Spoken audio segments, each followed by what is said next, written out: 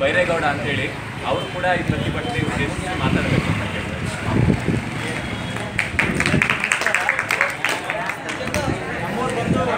ಗೊತ್ತಿದೆಯಲ್ಲ? ನಮ್ಮೂರಲ್ಲಿ ಇದೇ ಸಮಸ್ಯೆ, ತುಂಬ ಸಮಸ್ಯೆ ಅಂದರೆ ನೀವು ಹೇಗೋ ಈಗ ಸೇತುವೆ ಅಂತ ಹೇಳಿದ್ದೀರಿ, ನಮ್ಮೂರದ್ದು ರಸ್ತೆ ಆಗಿ ಹೆಚ್ಚು ಕಡಿಮೆ ನಾಲ್ಕೈದು ವರ್ಷ ಆಗಿದೆ. ಅದೇ ವಿಚಾರಕ್ಕೆ ನಾವು ಕುಡಿಯೋ ನೀರಿನ ಮೇಜರ್ ಸಮಸ್ಯೆ ಇದೆ ಪಂಚಾಯತಿನಲ್ಲಿ. ಸುನಿಲ್ ಅವರಿಗೆ ಪರಿಚಯ? ನಾವು ಮೊದಲಿಂದನೂ ನಾನು ಮೈಸೂರು ಮಹಾರಾಜ ಕಾಲೇಜಿಗೆ ಹೋದಾಗಿದ್ದನು ನಾನು ಒಂದೊಂದು ಸಂಘಟನೆಗೆ ಬಂದವನು.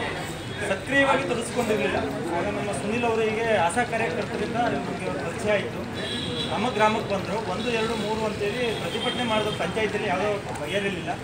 ಜನವರಿ ಹತ್ತನೇ ತಾರೀಕು ಮೈಸೂರು ಜಿಲ್ಲಾ ಪಂಚಾಯತಿ ಮತ್ತು ಡಿ ಸಿ ಆಫೀಸ್ಗೆ ಬೃಹತ್ ಮಟ್ಟದಲ್ಲಿ ಎಲ್ಲ ಗ್ರಾಮದ ಮಹಿಳೆಯರು ಜೊತೆಗೆ ಎಲ್ಲ ಗಂಡಸರು ಎಲ್ಲರೂ ಹೋಗಿ ಸ್ಟ್ರೈಕ್ ಮಾಡಿದ್ರು. ಅದು ದೊಡ್ಡ ಮಟ್ಟದಲ್ಲಿ ಆಯಿತು. ಬಂದ ಸಂದರ್ಭದಲ್ಲಿ ಎಲೆಕ್ಷನ್ ಬಂದಿರೋ ವಿಚಾರ ಅದೇನು ಸಕ್ಸಸ್ ಸ್ವಲ್ಪ ದಿನದಲ್ಲಿ ನಿಧಾನ ಆಗುತ್ತೆ ಅಂತೇಳಿ. ನೀವುಗಳು ಅಷ್ಟೇ ಇವತ್ತೇನು ಕೈಗೊಂಡಿದ್ದೀರಿ ಈ ಡಿಸ್ಟಿಕ್ಗೆ ಮುಗಿಯಲ್ಲ. ಸರ್ಕಾರವನ್ನು ಎಚ್ಚೆತ್ತಿಸಬೇಕು ಅಂದರೆ ಒಂದು ಪ್ರತಿಭಟನೆಗೆ ಯಾರೂ ಬಗ್ಗಲ್ಲ.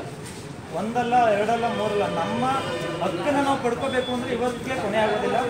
ಒಂದಲ್ಲ, ಎರಡಲ್ಲ, ಹತ್ತು ಸಾರಿ ಇದೇ ಥರ ಪ್ರತಿಭಟನೆಗಳನ್ನು ಮಾಡಿ ನಾವು ಗೆದ್ದರೆ ನಮ್ಮ ಗೆಲುವನ್ನ ಸಾಧಿಸ್ಕೋಬೋದು ವಿನಃ ಬರ್ಬೋದು, ಹೋಗ್ಬೋದು, ಬಂದು ಮನವಿನ ಸ್ವೀಕರಿಸ್ತಾರೆ, ಬರ್ಕೊಡ್ತೀವಿ. ಸರ್, ನಮಗೆ ಸಮಸ್ಯೆ ಇದೆ ಅಂತ. ಆಯ್ತಪ್ಪ, ಹೇಳ್ತೀವಿ, ಸಂಬಂಧಪಟ್ಟ ಅಧಿಕಾರಿಗಳಿಗೆ ಅಂತ ಸಂಬಂಧಪಟ್ಟ ಅಧಿಕಾರಿಗಳು ನಮ್ಮ ಗ್ರಾಮಕ್ಕೆ ಬರಬೇಕು ಅಂದರೆ ನಮ್ಮ ಹೋರಾಟ ಹೀಗೆ ನಿರಂತರವಾಗಿರಬೇಕು.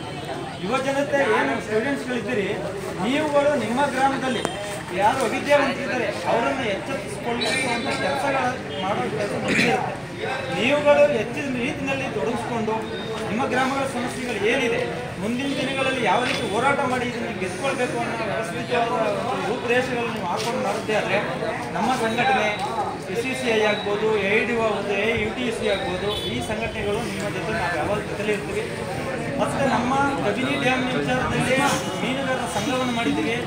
ಸಂಘ ರಿಜಿಸ್ಟ್ರೇಷನ್ ಆಗಿದೆ. ನಾನು ನಮ್ಮ ಚಂದ್ರಶೇಖರ್ ಸರ್ ಅವರು ಇಲ್ಲಿ ನಮ್ಮ ಮೀನುಗಾರರ ಸಹಕಾರ ಸಂಘದ ಸಂಘದ ಕಾರ್ಯದರ್ಶಿ ಆಗಿದ್ದಾರೆ. ನಾಳೆ ಒಂದು ಎಲ್ಲರೂ ಇದೇ ಥರ ಮೀಟಿಂಗ್ ಮಾಡ್ತಾ ಇದ್ದೀವಿ. ನಮ್ಮ ಒಗ್ಗಟ್ಟು ಎಲ್ಲರೂ ಒಗ್ಗಟ್ಟಿನಿಂದ ಇದೊಂದು ಒಂದು ಫಲ ಸಿಗ್ತಾ ಇದೆ ಅಷ್ಟೇ. ಒಗ್ಗಟ್ಟು ಎಲ್ಲಿವರೆಗೆ ಇರುತ್ತೋ ನಮ್ಮ ಬೆಂಬಲ ಎಲ್ಲಿವರೆಗೆ ಇರುತ್ತೋ ಅಲ್ಲಿವರೆಗೂ ಯಾವುದೇ ಅಧಿಕಾರಿನ ಪಟ್ಟು ಇಟ್ಟು ನಮ್ಮ ಅಧಿಕ ನಮ್ಮ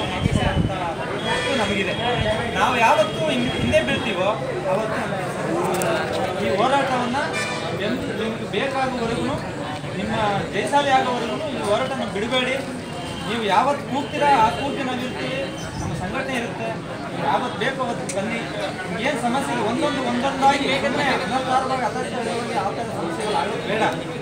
ಏನು ಬೇಕೋ ಆ ಸಮಸ್ಯೆಗಳ ಬಗ್ಗೆ ಕೂಲಂಕಷ ಪರಿಶೀಲನೆ ಮಾಡಿ, ನಮ್ಮ ಗ್ರಾಮದಲ್ಲಿ ನಮ್ಮ ಅಧ್ಯಕ್ಷರ ಜೊತೆ ಮಾತಾಡಿ, ಮುಂದಿನ ದಿನಗಳು ಏನು ಮಾಡಬೇಕು ಅಂತ ಹೇಳಿ ಅದನ್ನು ಮಾಡಿ कुछ तो मात्र आउट कर समझ नहीं चल रहा है